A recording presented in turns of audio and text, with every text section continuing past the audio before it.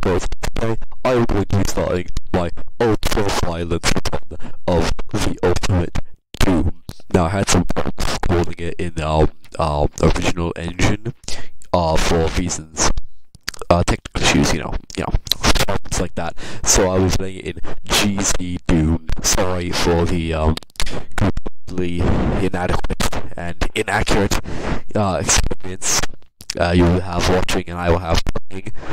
But I hope you have fun.